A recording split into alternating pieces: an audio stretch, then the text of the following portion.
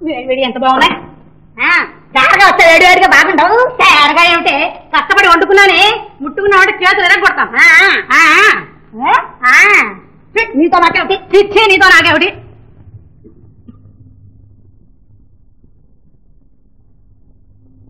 నువ్వెందుకు నా ఎదురుగా? సై నువ్వెందుకు నా ఎదురుగా? నాతో నీకు పోటీయా? నాతో నీకు పోటీయా? నేను ఇంటి కావందునే నేను ఇంటి కావందు మేనత్తనే.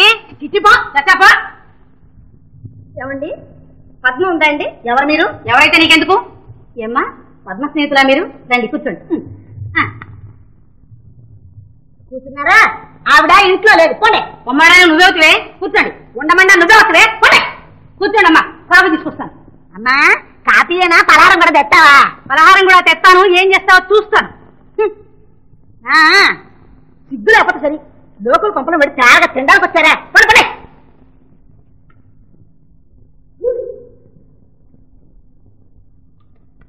ఏమిచ్చలే నిద్రం జింకల్లాగా వెళ్తున్నారు?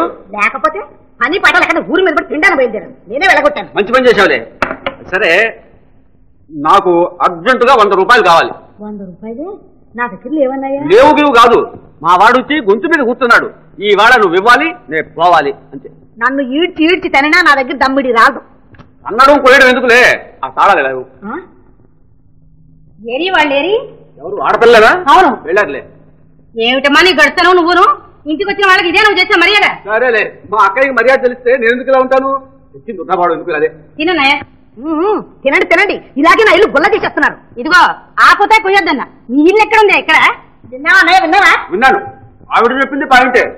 దుర్గమ్మక్క ముందు బేషుగా ఉంది. కూర్చోబడి. బేషుగ్గానే ఉంటుంది. తేరగా వచ్చిన బేషుగ్గా ఉండదు. కుక్కల్లో పడి తిట్టున్నారు నా ఇంట్లో. తినండి. కుక్కలు నక్కలు అంటే పళ్ళు రాలబడతాను మర్యాదగా మాట్లాడాను ఎత్తుకు ఏమిటి? కొట్టరా ఏమి కొట్టక భయమా? కొట్టే? రావే. నా బాడు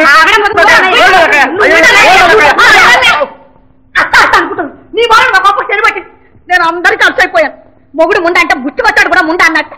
అవునులే కొడికే పట్టినోడు లోకానికే పట్టింది? ఊరికే అన్నారా? తల్లి విషయం బెల్లం అని. సరే ఊరుకో. ఎప్పుడు ఎవరి మీద ఒకరి మీద పడి ఏడిస్తే తప్ప నీకు తిన్న తిండారు కదా అమ్మ మన మర్యాదగా చూస్తుంటే ఆ జ్ఞానం ఉందా నీకు? ఇంట్లో వాళ్ళ మీద బయట వాళ్ళ మీద ఏమిటి నీ పెత్తనం? పద పద్మ త్వరగా సమాసం. ఎక్కడికి రా ప్రయాణం? బెంగళూరుకి. ఈ పాడు కొంపలో ఉంటే మతి కూడా పోతుంది. మీరు పోవడం ఎందుకు నాయనా? హాయిగా ఉండండి. నేనే పోతాను. ఈ బోడి పత్రం నాకు అక్కర్లేదు. చాలా నీకో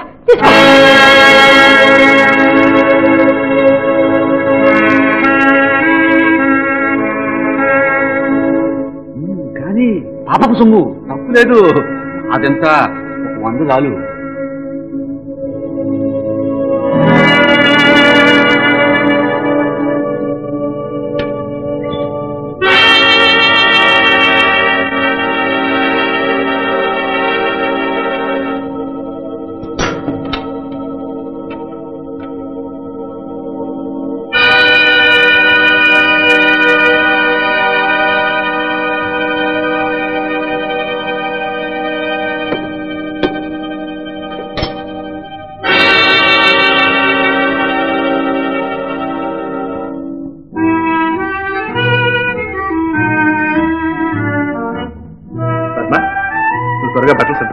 నేను వెళ్ళి పైకి తీసుకొస్తాను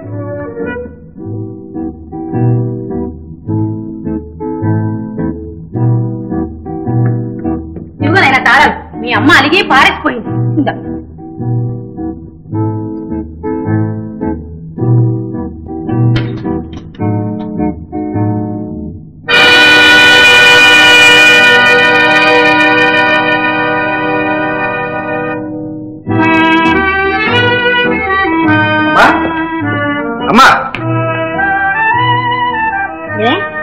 ఊరికి వెళ్తున్నా.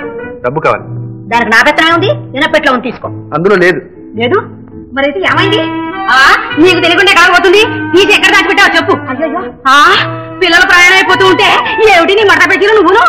నిజంగా దేవుడు సాక్షిగానే నెరగలు కావాలంటే నా పెట్టి వెతుకో. దొంగ సొమ్ము పెట్టెల్లో దాస్తారా ఏమిటి? ఏ చీర మట్టలో దాచావా ఏమిటో? ఉండు పెట్టికొస్తా.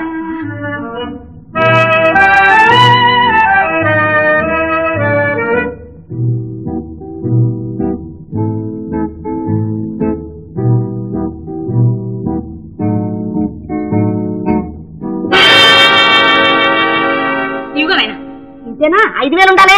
అవి ఎవరికి దాటేసావో అది ఆరా తీస్తాంగా నీకెందుకు నువ్వు వెళ్ళినైనా అన్నయ్య అన్నయ్య చూసావా ఈ అన్యాయం? అమ్మ పుట్టెలు మేనమావ దగ్గర నీ సంగతి నాకు తెలియదు ఛీ, మీ బతుకులు పాడుగాను నా డబ్బు కదిసి నా మీద దొంగతనం?